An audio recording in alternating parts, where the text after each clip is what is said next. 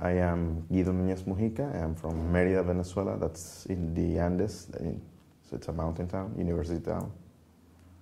Why I'm in TED? Yes. Because it's fun. what is it that you're showing off at, at TED this week? What are you, what are you talking about at TED?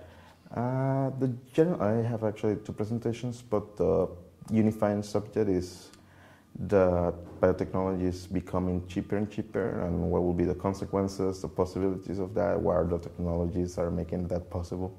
Okay, so what will be the consequences of that?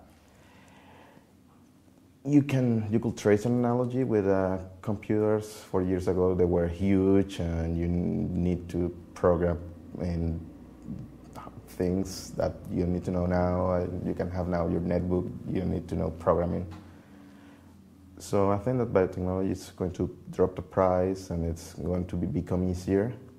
So now, for instance, local producers can make their, their own crops tailored to their weather and soil conditions and to their local plagues rather than waiting for Monsanto to develop a crop that is sort of one size fits all.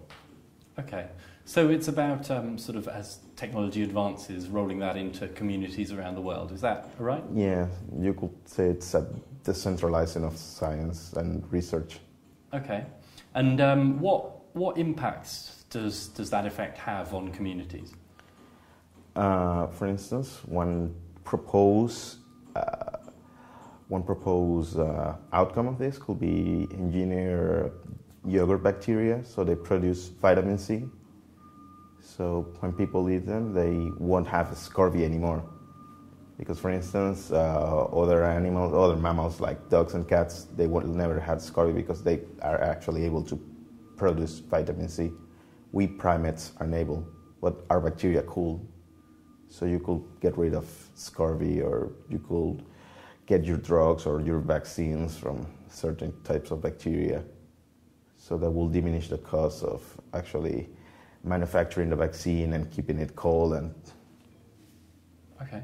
And what's your background? Where where where has this uh, come from? Why have you decided that this is what you want to focus on? I'm computational biologist.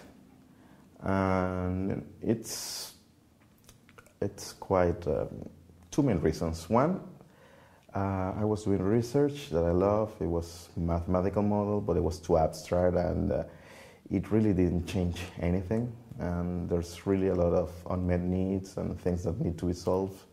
So I think it's rather what I should be doing is focusing on something that can make a difference now that instead of something that might make a difference in 20 years. And the other reason is that as a biologist, I don't think that there's anything that I have done in my undergrad that could not have been done by kids in high school or even in middle school if they have the interest and the means.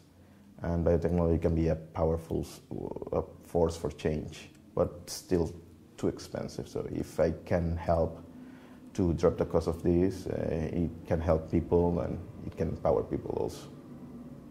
Okay. And uh, do you sort of have any examples of uh, sort of miniaturization of, of these things that, uh, that yes, right here. show us? Uh, this is a PCR machine. It's basically some sort of uh, DNA Xerox machine, but that's only able to copy this very specific sequence billions of times. So it's like having a Xerox machine that scans your whole library looking for a certain paragraph, and it finds a paragraph, you have a ton of copies of that same paragraph. If not, you don't have any output. This does this this uh, this machine does that for DNA. Okay, and are they cheap? Are they easy to roll out around the world? Yes, uh, this is only a prototype version, and we're now we're trying to manufacture a final version. But uh, it's easier than current technology for machines are this size, three thousand dollars. Uh, we wanted this to be less than five hundred dollars, and it's handheld so this is an example. There are some more examples of how can technology drop the price and be easier to maintain. For instance, there are reagents for doing uh, tests for infectious diseases that now you need to keep them in the freezer. Okay, okay. And uh, when, you know, when, when, what, sorry, I'm trying to formulate this question right. Uh, what kind of, uh, what kind of effects are you hoping that the, in the long term this decentralization is going to have on, uh, on the world globally?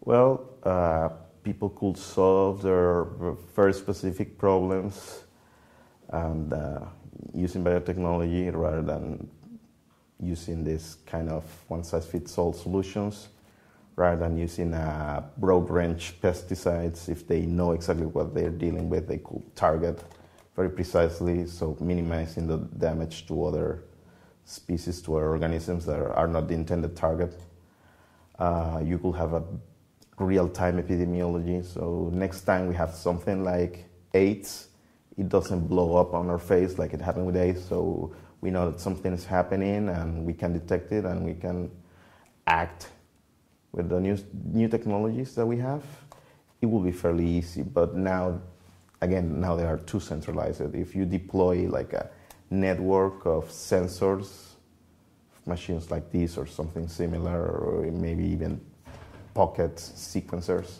DNA sequencers, you could be ready and you could know that something's going on and you could stop. Next time we have a bird flu, we could know in real time and we could know in, oh, I better not go to the airport because I have this alert that there are 10 cases in the airport. It's showing on my Google Maps. Real time epidemiology is a definite possibility of this.